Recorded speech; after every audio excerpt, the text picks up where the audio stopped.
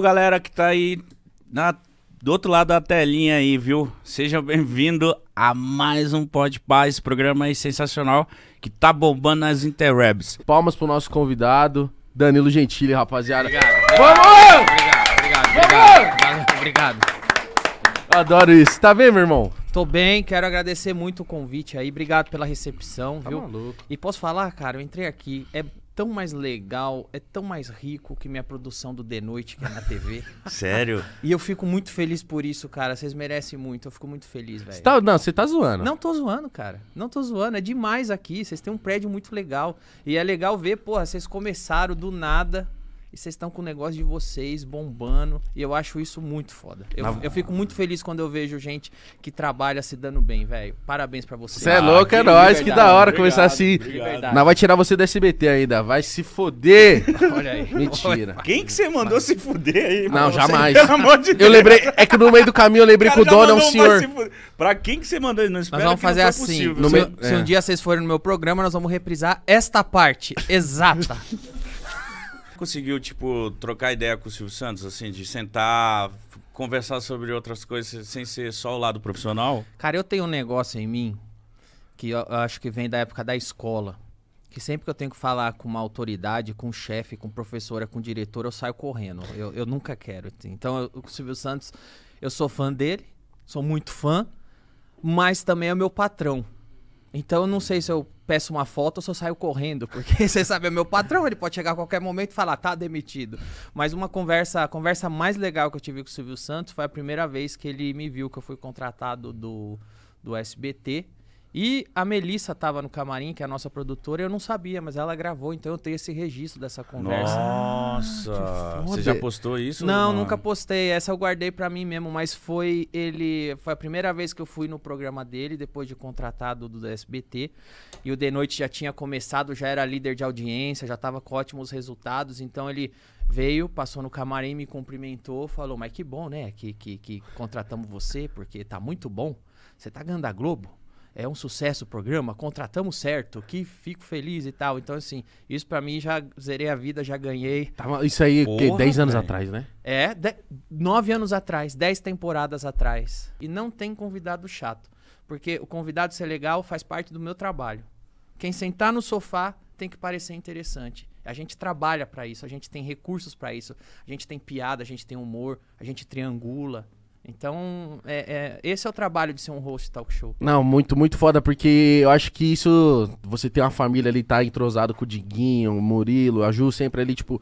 Tá todo mundo, todo mundo muito bem entrosado. E se eu tiro o peso também do dia que vai o Ronaldo, vocês estão Exato, tranquilo. exato. Vai ver o Ronaldo e da hora. Não tá Exato. tipo todo mundo.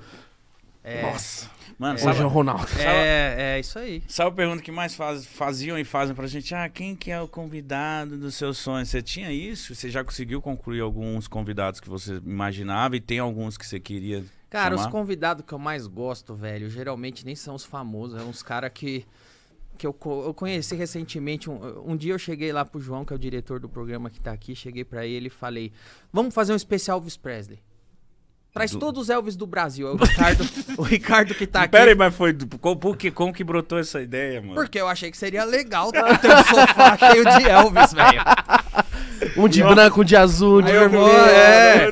Aí tinha tudo que é Elvis. Aí o Ricardo que tá aqui, a equipe dele se ferra pra trás dos Elvis do Brasil. Aí nós ficamos alguns meses. Esse aqui é, é do? Paraná. Esse é, ficamos coletando uns 20 Elvis. Chegou lá.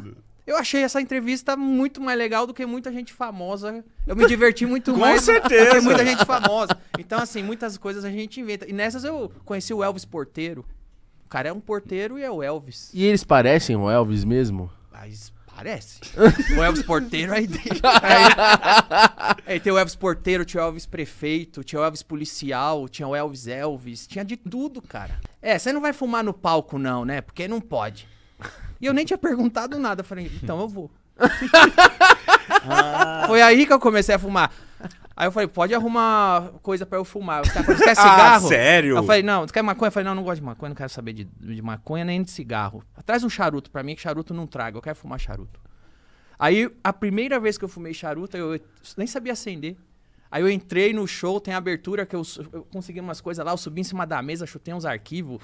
Comecei a fazer, aí eu acendi o charuto em cima da mesa, que é a abertura do show, e traguei. E foi a primeira vez que eu fumei charuto. E eu gostei muito. Já na primeira vez? Já. Achei demais, cara. Foi assim que eu fumei charuto a primeira vez. Primeiro, sua casa como que é? Bagunçada ou arrumada? A minha é arrumada. A minha casa também é muito arrumada. E eu tava pensando isso hoje, lavando louça. Falei, mano, minha casa é arrumada pra caramba. Todo mundo fala, nossa, a casa é arrumada, mas sabe o que eu percebi, cara? O quê? Eu, já me perguntei, por que minha casa tá arrumada? Porque minha cabeça é muito bagunçada. Será que é isso? Gente, eu, gente que tem a cabeça bagunçada, gente que pensa muito, precisa ter as coisas aí em volta arrumada. Senão é um inferno. Imagina a bagunça que tá na minha cabeça. Eu chego aqui, tá tudo. Aí eu morro, eu surto. Faz sim, total sentido. E aí, o, o, o fato de eu sentar pra criar, olhar em volta e saber que tá tudo no lugar, Já te dá uma paz. já me dá uma paz e eu consigo focar. Porque senão, antes de eu resolver o que tá na minha cabeça, eu vou resolver o que tá aqui fora. Entendeu? Então, gente criativa, eu acho que tem a casa, tem as coisas em volta mais arrumada. Tem muitos roteiros de filme e série escrito. Tenho mais piadas pra mais show de stand-up. Tenho. É, é, tenho mais projeto criativo, cara. Ideias pra livro. Tenho um rascunho de jogo. Eu tenho muita coisa. Eu sou bem. Se você for na minha casa, eu abro um arquivo, eu tenho a pasta. Jogo de tabuleiro. Você vai encontrar tudo que eu tenho desenvolvido lá. Livro de, de zumbi, tá lá. É, é- é filme, roteiro. Então, assim, eu tenho bastante, eu tenho bastante bala na agulha. Entendeu? Que às vezes eu não coloco em prática porque eu tô ocupado demais com o que eu já tenho, com o que eu já tô fazendo. Tudo que eu fiz até hoje, eu nunca. Eu só pensei com a cabeça de consumidor, de espectador. Então, não, nós estamos falando do meu charuto. Sabe por que eu tenho um charuto? Porque eu gosto de charuto. Não porque eu achei que daria dinheiro. Primeiro. e- Você fez pra você primeiro, né? é, eu fiz porque eu gosto. Eu fiz porque eu gosto e aí eu sentei com o Dom Fernando e, e falei, ó, eu gosto, eu quero um sabor assim, eu quero um sabor mais suave, porque pra pessoa que não tá acostumada com charuto fumar e- e- e ser suave, a pessoa gostar, porque eu gosto de charuto suave e tal. Eu tenho um vinho porque eu gosto de vinho. Eu tenho um comedy club porque eu gosto disso. E o talk show é porque eu gosto do formato. Então eu sempre pensei como espectador em tudo que eu faço. Eu saí da minha casa pra fazer stand-up, não porque eu achei que stand-up ia mudar a minha vida. E foi o que, graças a Deus, mudou. Mas eu saí da minha casa pra fazer stand-up porque eu adorava aquilo, cara. Mas eu escrevia com piada, piada, porque eu cresci lendo a revista Med. Eu adorava a revista Med. A revista Med é tudo pontuada com piada e tal. Aí eu escrevi um texto, mandei pra Marcela, a Marcela gostou.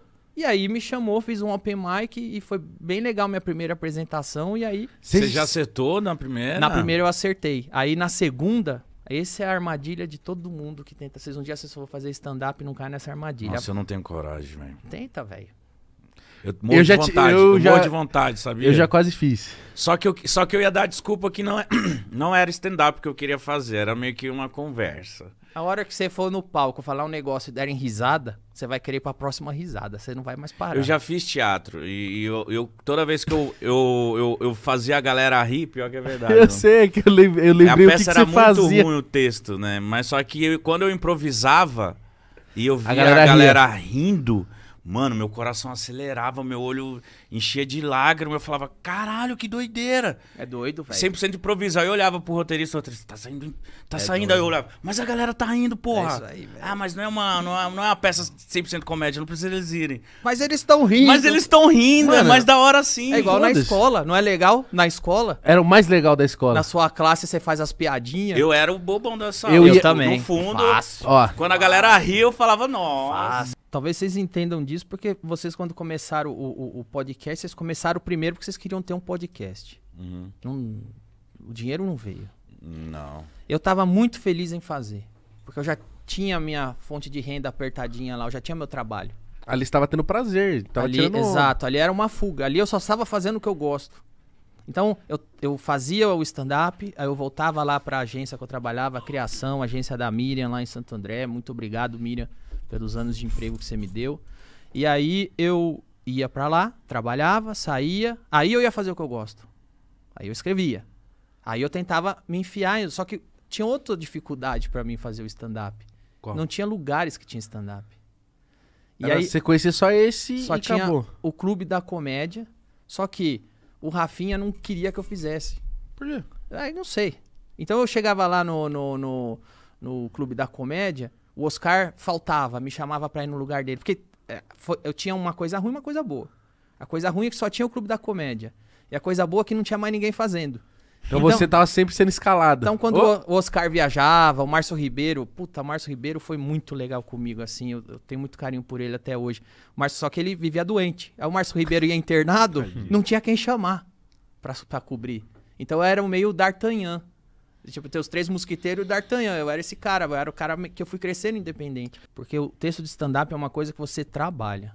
Não dá. Eu- às vezes eu vejo assim. É, hoje, hoje as coisas estão. Não tô julgando colega nenhum, porque os tempos mudaram e. e- mas hoje eu vejo assim, toda. O comediante hoje, alguns viram postadores de vídeos, não comediantes que constroem shows de comédia. Mas você não entende que às vezes eles têm que fazer isso justamente pra vender. Eu entendo totalmente, por isso que eu disse que eu não julgo, cara. Porque pra mim é fácil falar, né? Eu já, já tô com minha carreira. O cara tá começando agora, ele tem que ir lá, tem que postar. E o, e o cara dá certo, o cara ganha o público dele. Mas não o stand-up às vezes não é só o que você tá vendo no Instagram. Às vezes você vê no Instagram uns resquícios de coisas que as pessoas podem achar que não tem graça. Fala, ah, mas isso aí encheu o Isso- saco, isso aí não tem graça. Ah, que bosta piada. Claro, porque você tá na obrigação de postar todo dia. Um material bom, quando você vê um comediante legal, ele demorou muito pra chegar naquilo. Então, Lapidou muito, né? lapidou. Você vai, você conta. Se a pessoa não riu, você volta pra casa e repensa a piada. Você falou que você queria fazer isso, vamos fazer um trato aí, velho. O quê? Vamos sentar junto, dia a dia, até você ter um texto e subir no palco do meu bar e fazer. Nossa, eu quero ver. Nossa. Vamos fazer o reality aí, velho. Vamos trocando ideia no WhatsApp. Fala o que você acha dessa piada e aquela. Mas eu, Eu não sei- gosto. Daqui a pouco vocês estão com o show Pode Pá stand-up comedy, velho. Eu quase fiz, e quem tava me ajudando a escrever era o Renato Albani. Porque eu A tava. gente podia boa, fazer um junto. dele. Não, eu amo. Eu olho pro Batata e eu dou risada. Pra que a gente tiver 10 minutos trabalhando junto, vocês vão sozinho. Mas sabe o que me arrepia? Ah, eu É- quero, é- eu topo. é- Vamos, vamos fazer Vamos, isso aí? topo, tá fechado. Vamos fazer? Vamos fazer. Fechado? Fechado. Nossa, que muito louco. Pega meu WhatsApp aí, vamos mandando aí. Boa, manda falar os temas. Tô Ma- brincando. ma- manda os... eu quero causar uma sensação boa em vocês. Eu quero que vocês dão risada. Mas você não devia ter falado isso. Como eu vou saber se eu não falar? Se, se eu falar e você não rir, significa o seguinte: tá bom, vou continuar meu trabalho. Agora, Chico Anísio, Ari Toledo não tinha esse problema. Nunca tiveram esse problema de falar uma coisa, ninguém rir e ser julgado por isso. Porque todo mundo entendia que é um comediante contando piada. É só isso. Não é nada mais que isso. Falei, doutor Maurício, eu quero fazer uma homenagem pros comediantes mais processados do Brasil no meu bar. Vou dar medalha de prata, de ouro, de... Vai lá atrás, pega Chico Anísio, o Grande Otelo, Oscarito, Dercy Gonçalves, até hoje, mas só, só, só, só do Brasil. Só tô falando da cena brasileira. Ari Toledo, até os dias de hoje. Levanta o histórico jurídico de todo mundo. Demorou uns meses, ele voltou falou, levantei. Eu falei, ótimo, como é que tá? Ele falou, então, antigamente ninguém ganhava processo por causa de piada. Então, os de antigamente não tem nenhum comediante processado por causa de piada. Isso é da sua geração pra frente. Eu falei, tá bom, e como é que tá o ranking? Ele falou, você é o primeiro. Mas muito primeiro. Pra vocês terem ideia, eu, tô, eu sou o primeiro com 80 processos. 80! Ah, o cara não aguenta mais ver a cara do juiz, mano. O Léo Lins é o segundo lugar com 29. O público riu de tudo, mas a menina que trabalhava no som do Comedy Club foi lá e falou: Essa piada aqui não se faz. Aí eu falei: Quer saber? É assim que tá a cena da comédia? Então eu vou abrir o meu Comedy Club. Vai ser o lugar que vai se fazer a piada que quiser e foda-se. E foi por isso que eu abri o meu Comedy Club. Então, a galera assim, deve entrar lá no comedy club dele assim, tipo, tem ninguém vendo que eu vou entrar aqui na parada. é quase. Então, é, é, o lema do meu bar é seja livre pra rir, porque as pessoas estão esquecendo que rir é um ato de liberdade. eu fui descobrindo que a massagem tântrica, ela tem outras massagens dentro. Tipo, tem a Nuru, aí tem a Lingam. Uma vez a mulher falou, Lingam. Eu falei, ah. Eu falei, a mulher vai finalizar. Eu falei, vai me dar um mata-leão? Ela falou, não. No Ah. outro. Ah, ué, mas assim, mas, vamos, massagem. Co- É uma é uma Cuidado. parte do corpo. Ah. É. O dedo é uma parte do corpo, o É. pé é uma parte do corpo. É. Você pode massagear o pé, pode massagear a mão, pode massagear a cabeça. Pode. Qualquer parte do seu corpo é uma parte do corpo. Sim. Massageia, ué. É, massagem. Não, não tem nada errado. Não tem. Não tem. Não tem nada errado. Não, não tem. Não tem. Se tem algo que não tem, é errado. Você vai entrar no swing pra bater punheta, fica em casa, irmão. Não, mas é que eu tô falando assim, o cara só entra de casal. Eu falei, mas todo lugar, né? Só deve entrar só os casal, pô. Não, aquele quarto era só casal. No swing você pode entrar solitário, você paga mais. Ah, não, não, não, não tá acompanhado. Claro, igual Paga um- churrasco. Você vai no churrasco não leva picanha, paga mais, velho. Entendeu? Vai comer, Verdade, só é vai comer o que verdade. os outros levou? Você não quer levar nada? Qual é? Você conheceu o Diguinho da onde? O Diguinho eu fazia agora é tarde na Band. E na minha fase de Band eu ouvia ele de madrugada, eu era fã dele. Era. Era, claro. Depois que você, depois que você conhece, você para de ser na hora, né, velho? Depois você divide três dias camarim com ele, você deixa de ser fã. E aí eu entrevistei, eu pedi pra entrevistar ele, que eu gostava do programa dele, o Band Coruja, né? E, e eu não sabia, ele que me falou, eu que inventei o nome Diguinho Coruja. Eu não sabia. Porque eu ouvia ele no Band Coruja. Só que ele era Diguinho. Aí eu pedi pra entrevistar ele no Agora é Tarde, aí eu falei, vamos receber agora o Diguinho Coruja. E eu fiquei chamando ele de Diguinho Coruja, porque ele era o Diguinho do Band Coruja. E depois todo mundo agora chama de Diguinho Coruja. Não, pra mim ele sempre foi o Diguinho Coruja. E o Diguinho tinha aquela alma anárquica do que era o, o programa dele da madrugada. Ele já era um radialista. Eu... Aí, assim, Mor- a gente chegou à conclusão que o Diguinho, para aquele momento, Ia ia, funcionar, bem- né? ia funcionar bem. E a química funcionou bem. Ah, eu, eu tenho orgulho da gente chegar à décima temporada relevante, ganhando da Globo, líder de audiência, líder de audiência na internet. Eu tenho orgulho do nosso programa ser o. o, o Você foi o uma- primeiro a fazer isso, de postar no YouTube, cara? Foi. Foi. Eu lembro disso. Foi. Eu falei, nossa, o Danilo acertou muito indo pro YouTube também, Foi. mano. É, quando eu saí da. Na Band, eu queria ter feito isso com Agora é Tarde, na Band. E não tinha porque tinha aquela mentalidade, não, mas YouTube não ganha nada. E quando eu fui pro SBT, eu falei, uma das condições de eu vir aqui é postar o programa no YouTube. E ter um certo controle. O controle de. Hoje, vocês têm podcast, sabe disso. Corte é tudo. Uhum. Na época, eu pensava, eu tenho que ter os highlights do programa, eu tenho que ter os cortes do programa. Só aquela parte que vai coisar. Não tinha isso de corte ainda. Então, é, é, foi e deu tão certo que o nosso programa hoje é o maior programa da te- de TV brasileira, é o maior programa do YouTube. Somos o maior corte show do mundo, maior, é, somos o quarto maior talk show do mundo e a gente não é de língua Nossa. inglesa. A gente passou coisa tipo Conan O'Brien. Gente, a gente não tem- língua inglesa, nós somos em português, que tá muito mais isolado que o espanhol, que o inglês, somos o quarto maior talk show do mundo. Nossa, que Nossa, cara. Então, assim, deu bem certo a estratégia. Aí lá no CQC, cara, aí o desafio era esse. Eu falava, porra, eu fico pé o dia inteiro. Aí eu faço pergunta pra Dilma, faço pergunta pro Temer, faço pergunta pro, pro, pro Maluf. Aí eu chego lá, as perguntas mais feias da puta que eu faço não vai pro ar. Aí essa era uma dificuldade que eu tinha, porque mexia comigo. Aí eu entendi o que eu fazia. Eu comecei a manipular a edição. O que, que você fazia pra, pra entrar Eu só, entre... eu só entregava o que eu queria. Eu ia lá falar com a Dilma, eu fazia uma pergunta. E a sua punchline já era. É. Você só fez uma pergunta pra ela, eu falei, só, se quiser, põe no ar. Se você quiser ela na matéria, você vai ter que pôr essa pergunta. Caralho. Ligeiro, não dava foi ligeiro. opções. Foi ligeiro. Não dava opção pra edição. Porque eu ficava puto que eu fazia piada, eu improvisava, e o caralho, e... e aí eu via o editor e falava, não gostei. Cortava. Eu falei, então beleza. Aí eu só fazia o que eu queria. Eu tenho três projetos de filme que eu daria tudo pra ver acontecer, porque eu gosto muito das histórias. É a sequência dos Terminadores do Além, já tá escrito. Eu tenho um filme de Natal escrito, já tem muitos anos. E eu tenho um, um filme de comédia num mundo pós-bomba atômica, depois da guerra nuclear. Caralho! Eu adoraria ver esse filme. E o... Nossa, deve ser muito louco esse aí, hein? ainda Eu- não eu- aconteceu eu, por... gosto muito da história. Não, ainda ninguém comprou a ideia, o recurso. O que, que falta pra viabilizar? O roteiro tá pronto, falta. Não sei. Tô, tô trabalhando pra ver se acontece. Mas vai rolar. Espero que sim. Um dos pilares da, da comédia, da- do, do stand-up comedy, é. Você, poten você potencializa muito a piada quando você tem o fator de identificação. Eu acho que um bom comediante, ele não tá falando dele, ele tá falando de quem tá ouvindo. Sim. Então, eu tenho histórias muito particulares que são tremendamente absurdas que aconteceram comigo. Se eu contar, vocês vão falar, você não tá exagerando? É sério? Não, não tô, é sério. E eu tenho medo de eu contar e as pessoas acharem que eu inventei isso pra fazer graça e eu vou perder o fator de identificação. Mas quem sabe um dia eu acho. Talvez um dia eu faça um show temático da minha vida que as pessoas vão sabendo que são coisas da minha vida e eu vou. Talvez, Você vai eu... poder, né? Talvez um dia eu faça um show falando só de mim. Aí vai caber essas histórias, entendeu? Nossa, ia ser do caralho. Seria legal. Ó, Faz isso, mano.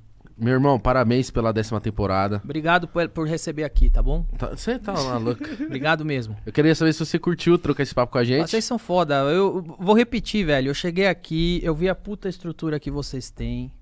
O bagulho aqui é demais, é sensacional. Eu sou muito feliz por vocês, velho. Tamo junto. Vocês são os caras que vieram do nada, estão trampando, e quando isso acontece, vocês trabalham, vocês são honestos no que estão fazendo, velho, na intenção. Isso, pra mim, dá muita alegria, velho. É de gente assim crescendo que eu gosto de ver. Obrigado. Mano, obrigado. Rapaziada, curtiu esses melhores momentos? Então vem aqui embaixo, se inscreve aqui nesse canal. Esse canal é oficial nosso do Podpah, certo? Dá o like, se inscreve e aguarde os próximos. Dignidade sempre!